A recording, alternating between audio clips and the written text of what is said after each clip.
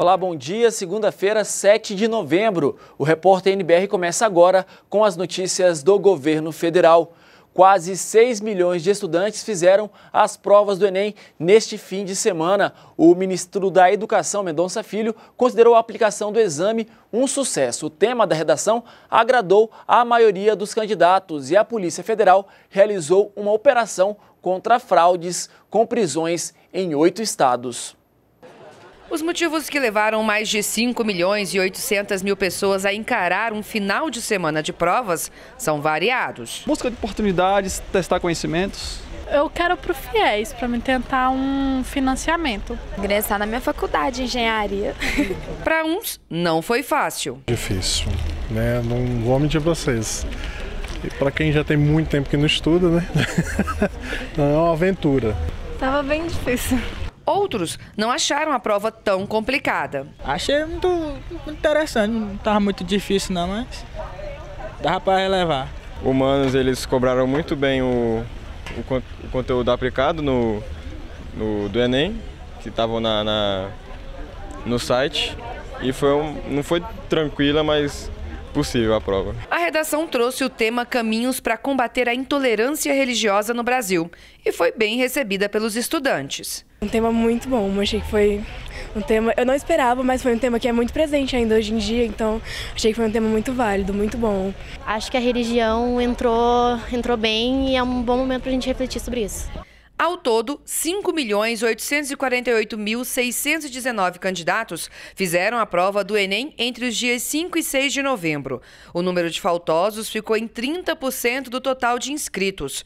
O Amazonas foi o estado com maior número de abstenções. Por outro lado, o Piauí teve o menor número de ausentes. Nos dois dias de provas, 768 candidatos foram eliminados por descumprimento de regras. Cinco atendimentos médicos foram feitos e em 20 22 locais de prova, houve falta de energia elétrica. O ministro da Educação fez uma avaliação positiva da aplicação do exame. Diante do quadro que nós acompanhamos nos últimos dias, nas últimas semanas, eu diria que foi um sucesso absoluto o Enem 2016. Por conta da ocupação de alguns locais de prova, 271.033 estudantes tiveram o exame adiado e vão fazer a prova nos dias 3 e 4 de dezembro. Infelizmente, 3%, total aí algo em torno como 271 mil inscritos, tiveram ou terão que fazer o, o exame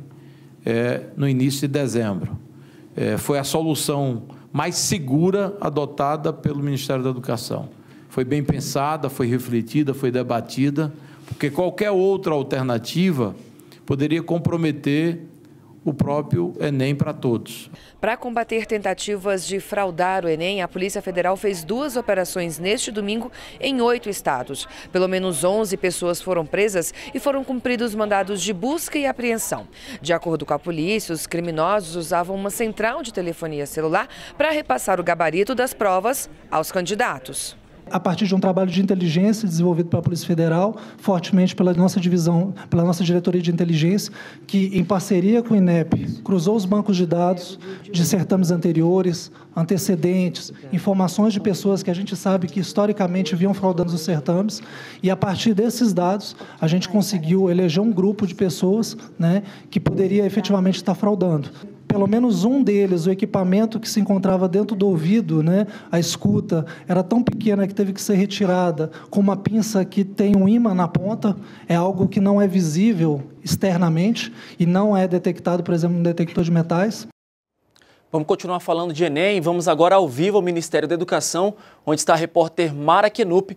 Mara, me diz uma coisa: é, a, já existe a data quando vai sair o gabarito da, do Enem? Bom dia, Leandro. Bom dia a todos. Tem sim, Leandro. O gabarito vai ser divulgado depois de amanhã, quarta-feira, dia 9. E o resultado final do Enem vai ser no dia 19 de janeiro. Essa, essa data de resultado também é a mesma para os 271 mil alunos inscritos que vão fazer as provas nos dias 3 e 4 de dezembro. No resultado final, os alunos, é, quem fez a prova, vai poder saber também o resultado, quanto que tirou na redação, na prova de redação, que teve aí como tema a intolerância religiosa no Brasil, como a repórter Luana Karen disse na reportagem. Os candidatos deviam fazer um texto de no máximo 30 linhas. Ontem, em entrevista, a presidente do INEP, Marina Esfini, disse que o tema foi uma oportunidade de reflexão da juventude para falar, refletir, pensar sobre respeito, diversidade, direitos humanos e intolerância. E essas redações vão ser avaliadas de acordo com cinco competências, dentre elas a, o domínio da norma padrão da língua escrita, a compreensão e aplicação de conceitos e a capacidade de relacionar e interpretar informações para defender um ponto de vista. Volto com você, Leandro. Obrigado, Mara, pelas suas informações. Bom dia para você. E hoje foi, vai ser assinado o contrato para a migração das rádios AM para FM. O presidente Michel Temer vai participar dessa cerimônia no Palácio do Planalto. Vamos então conversar com a repórter Paula Diotti, que está lá no Palácio e tem mais informações para a gente ao vivo. Ao vivo, Paola, bom dia. Bom dia, Leandro. Bom dia a todos. Pois é, hoje é dia 7 de novembro, é o dia do radialista e justamente nesse dia o presidente Michel Temer participa dessa cerimônia de autorização de migração dos radiodifusores das bandas AM para as bandas FM. São 240 radiodifusores que participam dessa cerimônia e o Brasil é o primeiro país a fazer esse mutirão de assinaturas que tem como objetivo justamente garantir a sobrevivência das mais de 2 mil rádios AM que cobrem todo o território nacional. Uma demanda dessas rádios era que para que justamente fosse feita essa transição, já que com o crescimento das cidades em todo o Brasil, a transmissão dessas rádios AM piorou muito, a qualidade dela piorou muito e houve cada vez mais interferência. Então, justamente para continuar né, conseguindo o público, era preciso fazer essa transmissão para a banda FM. Uma outra demanda delas era justamente garantir o preço, garantir que o preço fosse compatível com a operação delas. E esses foram temas todos que o governo federal levou em conta ao elaborar justamente esses contratos que serão entregues durante o dia de hoje.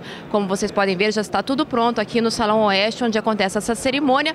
E todos os radialistas aqui já estão chegando, já está tudo preparado. E a TV NBR transmite essa cerimônia ao vivo a partir das 10 horas da manhã. Leandro. Obrigado, Paulo, pelas suas informações. E nós ficamos por aqui. Voltamos a qualquer momento com outras informações ou às 10 da manhã na próxima edição do Repórter NBR. Acompanhe as novidades também pelas nossas redes sociais. Um bom dia para você e continue com a gente aqui na TV NBR, a TV do Governo Federal.